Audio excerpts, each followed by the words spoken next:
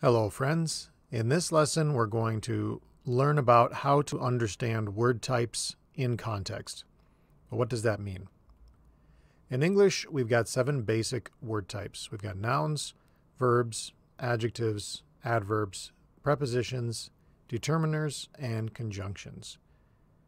But the question you might ask yourself sometimes, if you're not asking it right now, is which one is which? How do I know the difference between a noun and a verb in a sentence, or between an adjective and an adverb? Especially when you're reading something in higher level or academic English. Well, the big key for understanding the difference between these word types is the context. That is, how is the word being used in a sentence? Now, if you can look at the sentence and gather some information or some clues, about where the word is, what it looks like, and what other words it's connected to, then that will help you to know what kind of a word it is or what type of word it is.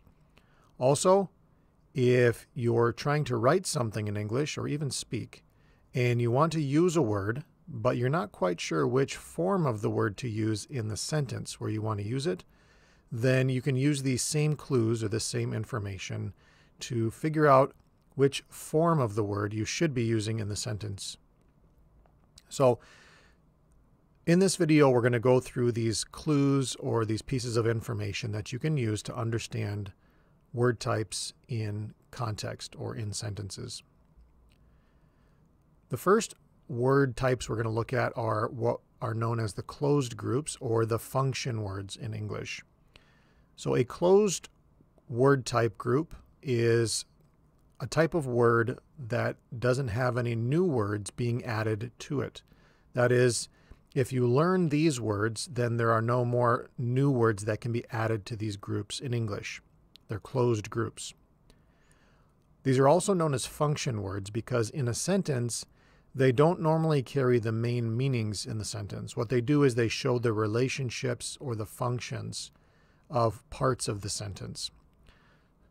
The first group here that we're going to look at are determiners. So determiners are a closed group of words.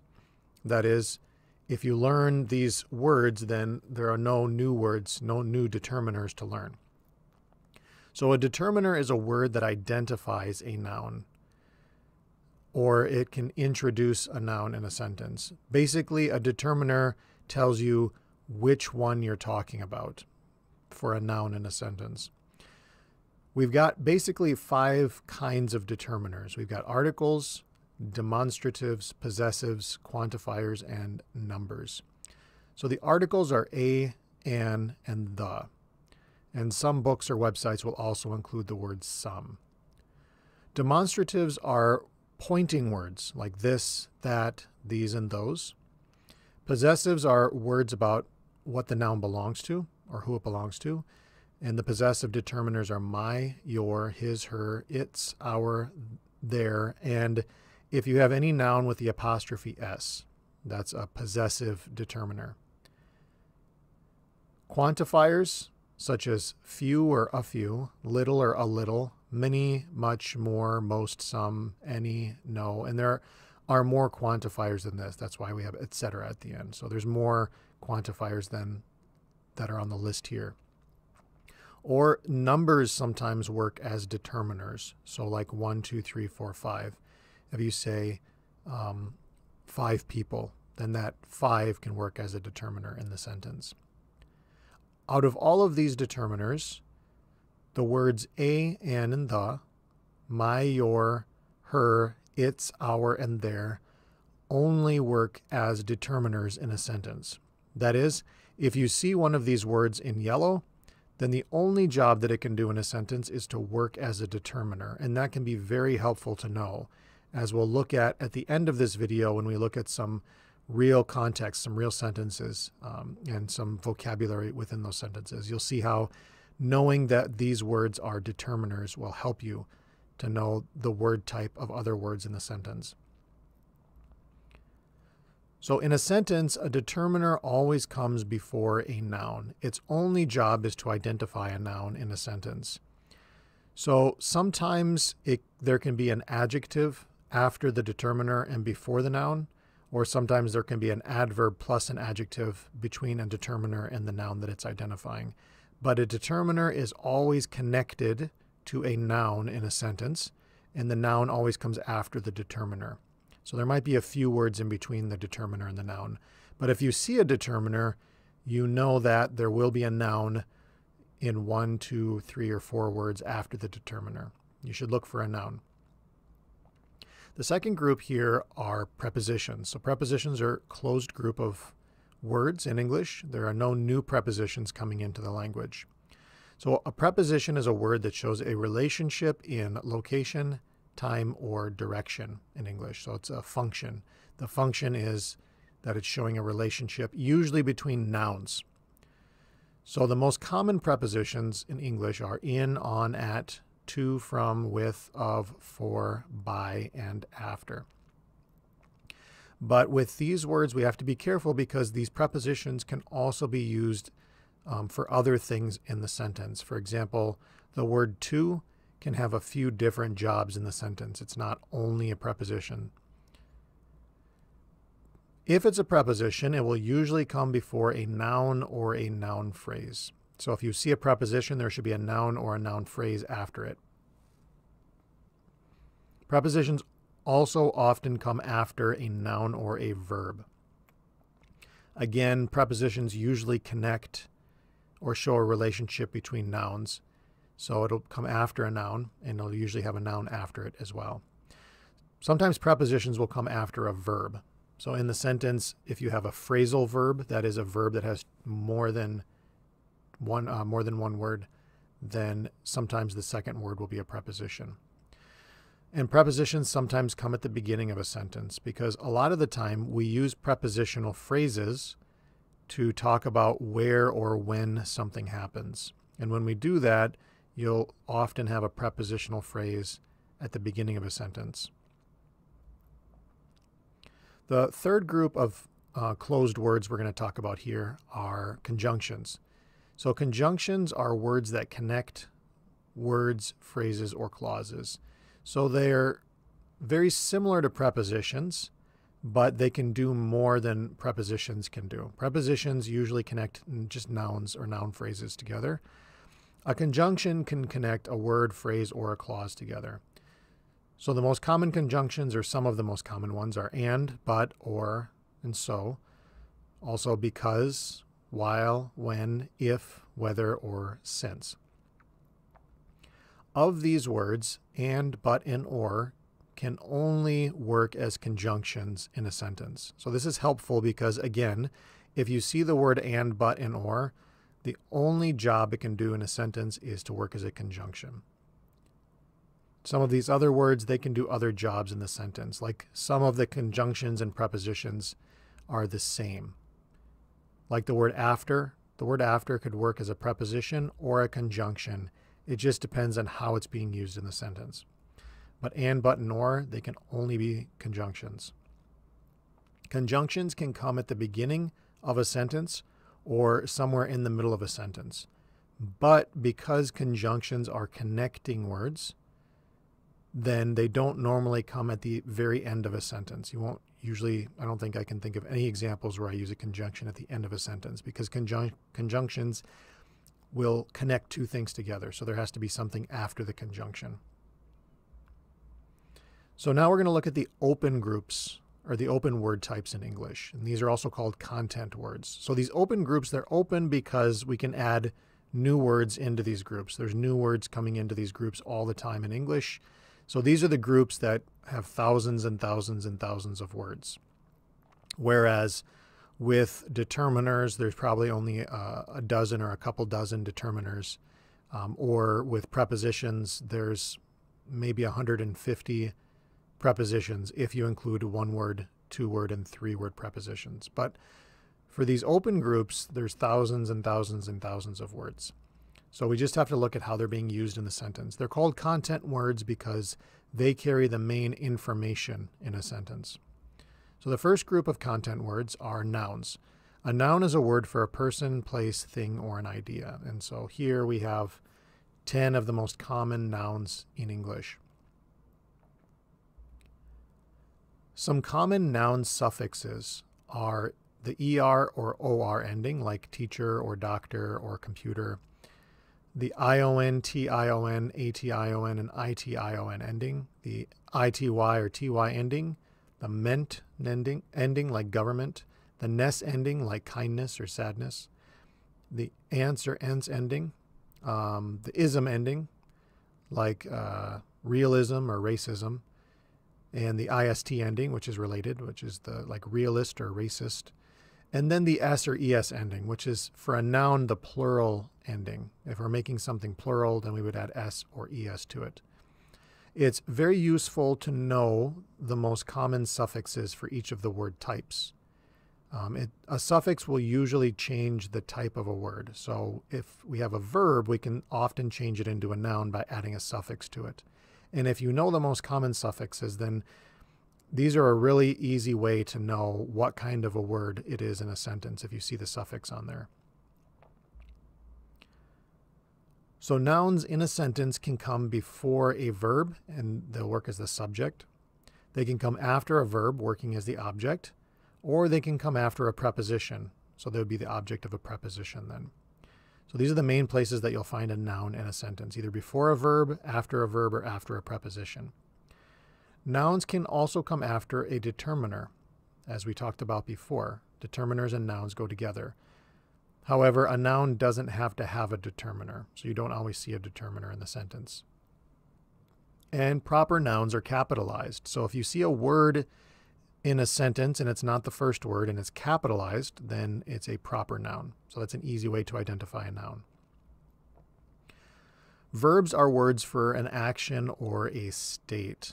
So here are some of the most common verbs in English. The most common verb in English is the be verb. But when we talk about the be verb, we're talking about all of its different forms, like am, is, are, was, were, been, or being. But also the word have, to, uh, have, do, say, get, make, go, know, take, see. These are the most common verbs in English. Some of the most common verb suffixes are the eight, eyes, or n ending, the fi or fi, the ing ending, the d or ed ending, and the s or es ending. Now these last three endings here, they are called inflections. So they're not working just like suffixes. They're inflections because they tell us about the verb tense or um, about who the subject is in the sentence. So the ing ending we use with the progressive or continuous forms. The d or ed we use with the past tense verb forms. And the s or es ending we use with the third person singular subject. If the subject is third person singular, then it'll have an s or an es in the present simple form. So these suffixes are useful to know, again, because if you recognize a suffix like eyes, uh, you'll pretty much only see this with verbs. So if you see that on a word, then you're like, ah, that's a verb. Some of the other ones can be used for other wor- verb form or word forms. So the ing or the d or ed ending or the s or es, they actually can be used sometimes by nouns um, or by adjectives like the ing and ed. Sometimes adjectives will have those endings, and the s or es, sometimes nouns will have the same thing. But for nouns, it's plural. For a verb, it's the third person singular ending. So we have to be careful with these. They can give us some information, but they don't always get used for only one word type. In a sentence, a verb can come after a subject or before an object. So if you see a word in between two nouns or noun phrases, then a lot of the time that's a verb. A verb can also come after the word to, like to run, to walk, to jump. This is called an infinitive or verbs can come after modal or auxiliary verbs. So the modals in English are can, could, shall, should, will, would, may, might, and must. Most of these words can only work as a modal verb. So if you see like the word should, then it, it will have a verb after it because the word should doesn't work by itself in a sentence. It can't be its own verb or must. The auxiliary verbs are the verbs am, is, are, was, were, be, been, have, has, had, do, does, did. So they're auxiliary verbs when they are working as a helping verb for a main verb. So if you see like were, then you might see walking. We were walking. So in that case, then were is a auxiliary or helping verb. Adjectives are words that describe or modify a noun. That's their only job in a sentence. So like great, good, new, first, old. Uh, colors like red, blue, yellow, gold. And here are some common adjective suffixes, like the full or less suffix, the OUS ending, the ER or EST ending, the ish ending, like bluish or greenish. And in a sentence, adjectives come in three main places. They can come before the noun they're describing. They can come after an indefinite pronoun like something, anything, nothing, or everything. Um, or they can come after a linking verb like am, is, are, was, were, be, become, get, seem. So adjectives can come after these kinds of verbs. But all they're doing is they are describing a noun somehow. Adverbs basically can describe anything else in the sentence. Adjectives only describe nouns, adverbs can describe lots of other things. So they can describe or modify a verb, an adjective, or another adverb. Sometimes they can modify a whole phrase or even a whole sentence. So adverbs are, for example, really or very, now, always, never, frequency words, slowly, quickly, probably, more, enough. And the, the most common adverb suffix, basically the only one, is ly. So if you see a word with ly, it is most likely an adverb, but it's not always an adverb. Like the word friendly. Friendly is an adjective, even though it has an ly on the end. So adverbs can come a lot of different places in a sentence. It depends on what kind of an adverb it is. It can come at the beginning or end of a sentence. It can come before or after a verb. So if an adverb is modifying a verb, it will either come right before or right after the verb. Adverbs can also come before an adjective or an adverb. So if the adverb is modifying or changing or describing an adjective or an adverb, it will come right before it. So you'll have an adverb plus an adjective or an adverb plus an adverb. So an adverb plus an adjective, you might say um, it's really cold. So really is an adverb. Adjective is cold, really cold. Or really slowly. So really is an adverb and slowly is an adverb. Besides the word types and the suffixes, it's important to know the basic sentence structures in English. If you know the basic sentence structures in English, this will help you to identify word types as well. So quickly, we got three types of sentence in English. We've got commands, we've got statements, and we've got questions.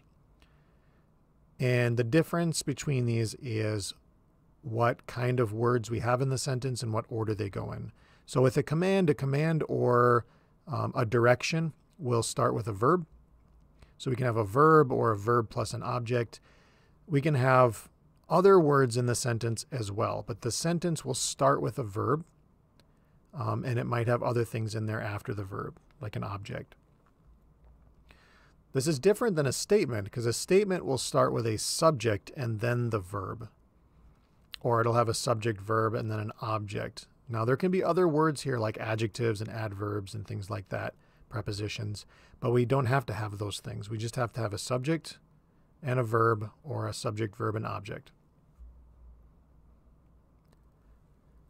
For questions, the question will start with a helping verb and then we'll have the subject and then the main verb. So let's look at the difference here between a statement and a question. So a statement might be I am talking. So subject is I and the verb is am talking. So there's a helping verb and a main verb. If I want to make that into a question, I would say am I talking? So am, the helping verb, will come before the subject I and then the main verb talking. That's how we make a question in English. We put the helping verb first. for a yes or no question. If we want to make it to an information question, it's the same thing. We just add a WH word at the beginning, like who, what, when, where, why, or how. So if you know these three basic sentence structures, commands, statements, and questions, and if you look at the punctuation in the sentence, that will help you to know, you know, what's what in the sentence. What's the subject? What's the verb? What's the object? Um, and a subject is usually a noun or a noun phrase. Okay, so let's practice with this a little bit with some real sentences. For this video, I've taken some sentences from this recent news article called Coronavirus May Be a Blood Vessel Disease, which explains everything. All right, the coronavirus is a big deal now. Everybody's talking about it, and there's a lot of science surrounding it, which means if you read any news articles about the virus, you're likely to see academic vocabulary or scientific vocabulary, which can be difficult to understand. So let's practice identifying some word types. So here I've highlighted some of the different words we're going to look at here. We want to figure out, are these words nouns, verbs, adjectives, adverbs, prepositions, conjunctions, or determiners. So in the first sentence here, in April, blood clots emerged as one of the many mysterious symptoms attributed to COVID 19, a disease that had initially been thought to largely affect the lungs in the form of pneumonia. This is all one sentence, which makes it extra difficult besides the vocabulary. Okay, we see it's got a period at the end, so it's a statement or a command, but if we look at the beginning here, we don't see a verb. So this is a statement, which means we're going to have subject, verb, or subject, verb, object. Now we see this in April in a comma, which means this is extra information. So we don't have to think about this. So starting here, we should see subject, verb. So the subject is usually a noun or a noun phrase and then a verb. If we look here, we see this word emerged has the ed ending and it's coming after this these first two words blood clots. So if I look here I can see that emerged is my verb in the sentence because then that means that this is the subject. So emerged it's got the ed ending which is a verb ending usually um, and it's coming after the subject, which means that this is a verb. So by looking at the ending and by looking at where it's at, at the in the sentence, I can tell that this word emerged is a verb in the sentence. Um, you might be wondering, like, how do I know this is the subject? Like I said, a subject is usually a noun or a noun phrase. So if I look at the first two words here, blood and clot, you probably know what blood is. And blood is a thing, right? Which means that this is going to be a noun. Now here, this word clots, you might not know what that is. But because it's at the beginning of a sentence and it's got the S ending, the S ending can either be for a verb or for a noun as a plural ending. But we've already got a verb here, which means that this is probably the plural S on a noun. So here we've got a noun, blood clots. And these two are actually working together. Um, blood is just describing what kind of a, a clot that it is. So even if you don't know what the word clot means, we know that this is the subject of the sentence, that it's plural, whatever this is, and that blood is describing it, something to do with blood. And then the verb here is describing something that the blood clots are doing. So blood clots emerged. So even if you don't know what the words clots and emerged mean, we at least know that clots is a noun and emerged is a verb, and that blood is describing clots or clots. So moving on here. Symptoms and attributed. Let's look up these words here. Let's try and figure out what they are. So symptoms is, we see the S ending, which means it's either going to be a noun or a verb. If we look at the next word, attributed, we see the ed ending again. So we're seeing the same pattern here. We have the ed ending after a word with the s ending, which means again that this is probably a verb and this is probably going to be a noun.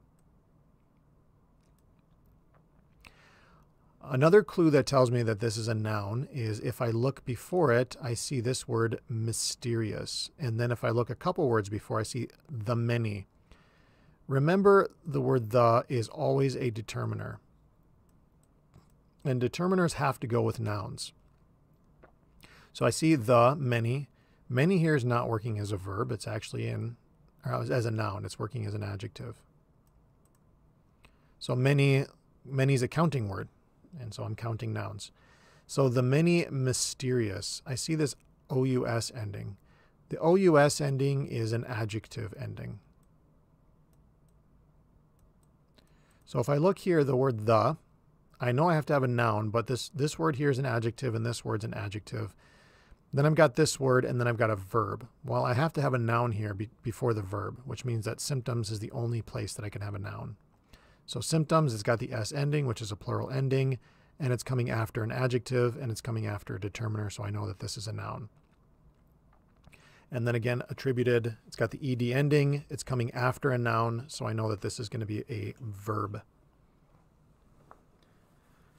Now let's move on to this word initially. This should be an easy one. It's got the ly ending, which means 90% of the time it's going to be an adverb. Uh, but let's double check. Let's, let's see where it's where it's at in the sentence. A disease that had initially been thought to play. If I look here, I've got the word had and been and thought. These are all verbs, and they're actually all working together. So had here is working as a helping verb, and been is working as a helping verb, and thought is my main verb. If you've got more than one verb in a row like this, the last verb is always the main verb. Which that's that's why I know these are helping verbs because if I have one, two, three verbs like this, the last one is going to be the main verb. So the ones before that are going to be helping verbs. So I've got a helping verb, a helping verb, and a main verb, and this word initially is in the middle here. The only thing that can go in the middle between a helping verb or a helping verb and a main verb is an adverb. That's the only thing that can go between a helping verb and a main verb is an adverb. So it's got the ly ending and it's between a helping verb and a main verb, so I know that this is an adverb. All right, so a disease that had initially been thought to largely affect the lungs. So here I've got this word affect. Now, what kind of a word is this? Let's look at where it is. We've got the word to here, and we've got an ly word largely. So again, it's ly, so it's most likely going to be an adverb. And then after it, I've got this word, and then I've got the lungs. So the is a determiner, which goes with a noun. And I see here, this is a preposition, so this has to be my noun. So I've got a word that's before a noun, which is the lungs. It's before a noun phrase. And it's after an adverb, and it's after the word to. So this is going to be a verb. So it's like to, if, to effect, right? Remember, a verb can come after the word to. And adverbs often describe verbs. So because I have the word to here, I've got an adverb and it's before a noun. So this is probably the object. Uh, I've got a verb here. And then let's look at this last one. In the form of pneumonia. this is a nice word, pneumonia. But what kind of a word is it? If I look here, I've got the word of. And of is a preposition. And as I said earlier in the video, after a preposition, we'll usually have a noun or a noun phrase. So I've got a preposition here, which means that this has to be a noun. A noun phrase would be more than one word with, with a noun. But this, there's only one word here, so this is a noun because we'll have preposition plus a noun. So even if I don't know what pneumonia means, I know that it's a noun. Next sentence here. Quickly after came reports of young people dying due to coronavirus related strokes. So let's figure out this word reports. It's got the S ending, so it's either a verb or a noun. Um, now let's look at the rest of the sentence. It's got a period, so it's either a command or a statement. But if I look here, I don't see a verb at the beginning. I see quickly after, but I do see a verb here, came and came is a very common one, so I know that's a verb, which means that this is my subject. So I got my subject and verb, and now I've got this word reports. So I've got the S here, but I've already got a verb, which means that this is going to be a noun. Also, it's coming after a verb, which means that this is the object of the noun. So quickly after came reports, and then I've got a preposition here. So a lot of the times prepositions will come after nouns because they're describing. So of young people dying due to coronavirus related strokes, this is all describing the reports. So this is coming after a verb. It's got the S ending, so it's plural. So this is a noun. Now let's look at this one here. Coronavirus related strokes. So related, what kind of a word is this? Well, it's got the ed ending, so it could be a verb or it could be an adjective. But if I look here, it's got this hyphen. It's hyphenated. That's weird. So let's leave this word here for a second and look at the next word, strokes. It's got the es ending. But where is it in the sentence? Let's look before it. We see due to. So we've got a preposition here. And what comes after a preposition normally? A noun or a noun phrase, right? Um, so here I've got to have a noun or a noun phrase. So I've got this S here, which means that this, because it's coming after a preposition, it's got the S ending. This is most likely going to be a noun. So if this is a noun, what comes before nouns? Well, in a sentence, determiners and adjectives come before nouns. This isn't, definitely, it isn't a determiner. So then that means that this is working as an adjective. Now the hyphen here, it's connecting these two words, so it's making these two words work like one word. Um, and in a sentence, normally you'll only see either nouns or adjectives hyphenated. So we've got the ed ending, and it's hyphenated, and it's coming before a noun. That makes this an adjective. Next sentence here. Next, it was COVID toes, painful red or purple digits. Now, I want you to look at this, whoops, uh, this uh, punctuation here quickly. It looks a lot like this one here, but this one is a shorter line, and this one is a longer line. So this one's actually called a dash, and is different than a hyphen. So this one's not connecting two words together. So it's not connecting toes and painful together. It's working differently in the sentence. Usually a dash will come when we're adding extra information or more specific information about what we just talked about. So next it was COVID toes. So what this is doing here is this is giving us more information about what they're talking about right here. So COVID toes. Now what is that? Painful red or purple digits. So if you know what a toe is, the thing on your foot, right? You've got 10 of them on your foot. Toes is just the plural form. So you've got 10 toes. So this, because this is giving us more information about the toes, let's look at what this says. Painful red or purple digits. Now, as I mentioned before in the video, colors are adjectives usually. So red, purple, these are both adjectives. What do adjectives do? Adjectives describe nouns. And if we look here, this is the only word that's left. And red is describing this word and purple is describing this word, which means that this is a noun. Also, we see the S ending. So we've got the S ending. We've got adjectives before it. So this is a noun. And also it's connected to the word toes, which is also a noun with the S ending on it. So we've got a lot of information here that tells us that this word digits is a noun. Also, the way it looks in the sentence, it's being used as a synonym for toes. Next sentence, what do all of these symptoms have in common? So we see the S ending here. Um, we also have an OM suffix on there, or TOM.